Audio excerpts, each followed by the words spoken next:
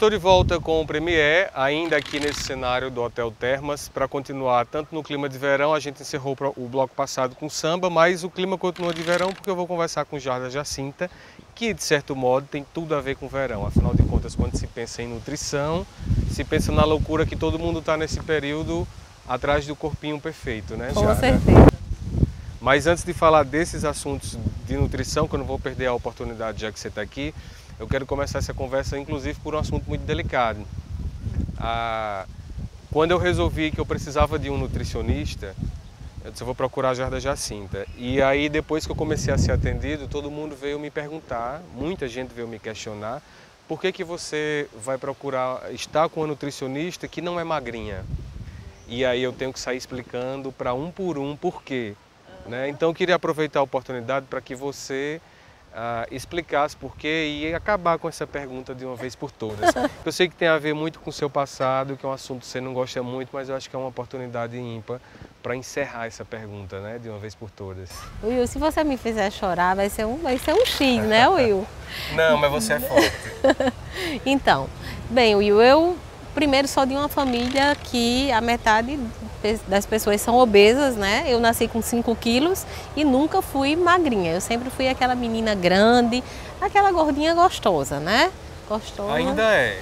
Aí então, há 11 anos atrás, eu passei por um problema de saúde, né? Grande. Eu tive trombose venosa na perna e essa trombose eu tive um erro diagnóstico e quando me internei tive uma embolia pulmonar.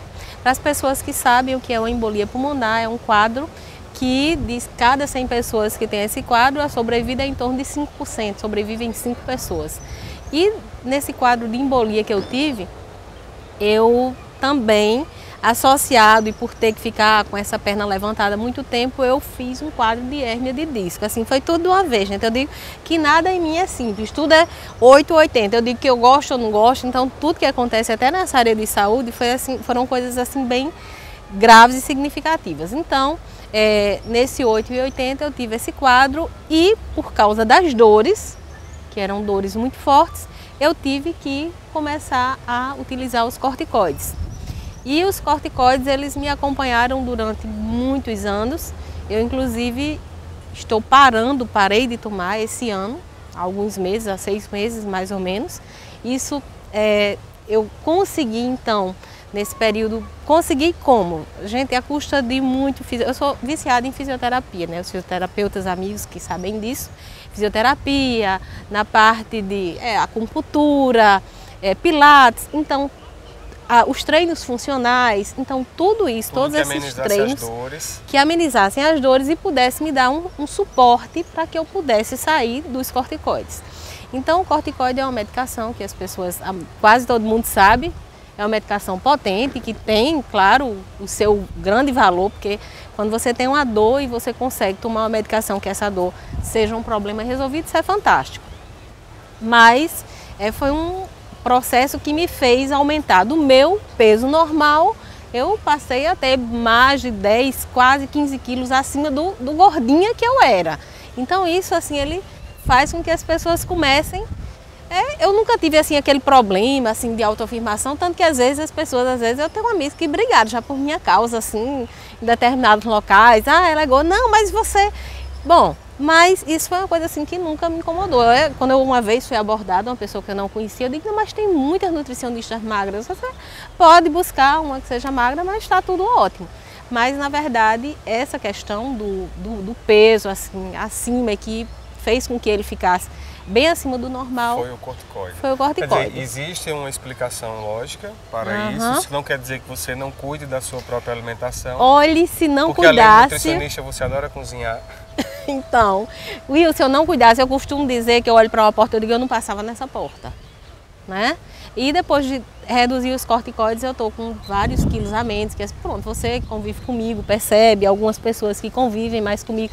Na telinha não dá para ver ainda, gente, eu acho que eu ainda tenho que emagrecer 10, para a pessoa notar um, um, pouquinho, mas de uma maneira geral, é, a gente fica bem grande né, na tela, então as pessoas, mas quem está me vendo assim sabe que com o desmame desse corticoide a gente fica com metabolismo lento, a gente emagrece e às vezes engraçado quando eu vejo isso em algum canto e a pessoa está falando com um gordinho e fala, ó, oh, gozação, né? E na verdade tem todas as verdades que estão por trás de tudo isso. Coincidentemente, eu estive exatamente aqui no ano passado, gravando com Lilian Martins, e fiz essa mesma pergunta para ela com essa mesma intenção. Você me perdoe até se não ah. tiver gostado da pergunta. não, não. Mas a intenção foi justamente essa, porque Lilian estava no auge de uma crise de lúpus.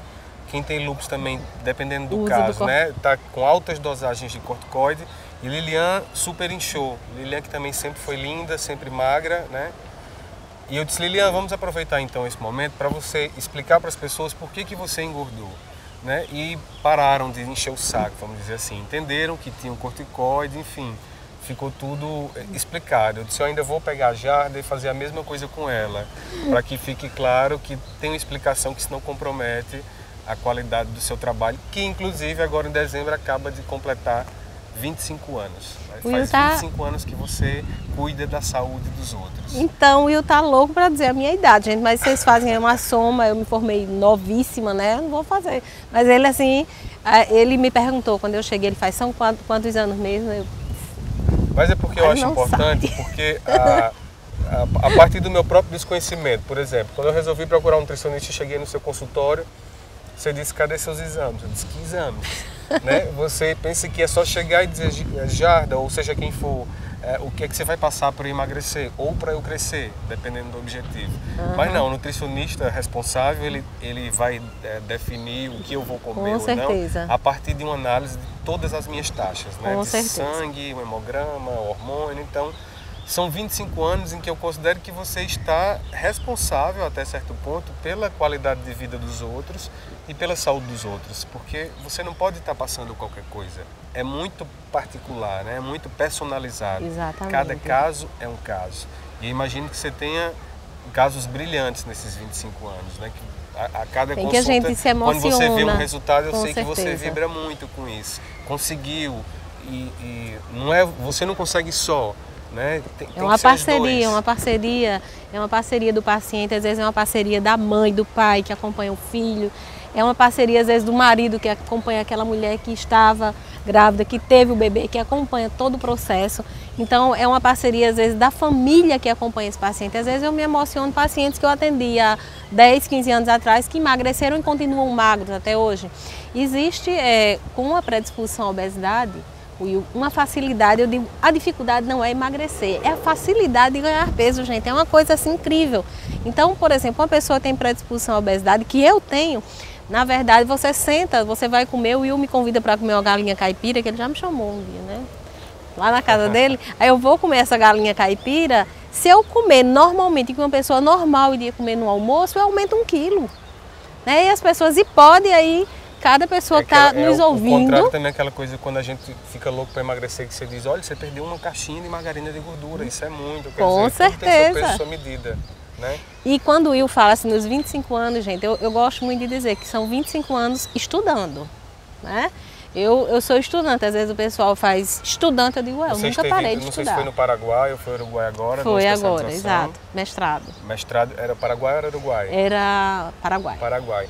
E sempre que tem esses congressos, Também, seja em qual área, né? Congressos, você é, na, vai todas as áreas em, que eu. Em nutrição esportiva, ou seja qual área, você As tá áreas que tem o foco do meu trabalho, eu sempre procuro estar lá nos eventos que são nacionais, que são internacionais, e que a gente precisa saber o que é que está sendo falado na comunidade científica, o que é que tem se estudado mais, é, o que é verdade, na verdade, o que é tabu, o que é mito. Então a gente precisa estar antenada para isso, para dar exatamente esse respaldo ao nosso paciente.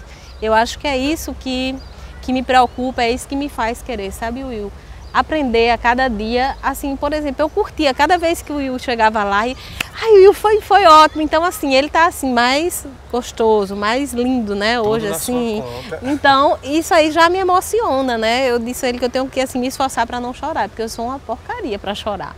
Mas a gente vai se emocionando com o resultado do trabalho que a gente tem. Então isso é muito importante. Vida, né? Exatamente. A gente fica assim, sabendo que a gente está deixando alguma coisa plantada e que com certeza isso é muito satisfatório. Então antes que você chore, eu vou fazer um rápido intervalo e volto daqui a pouco conversando um pouco mais com Jarda Jacinta. Até já.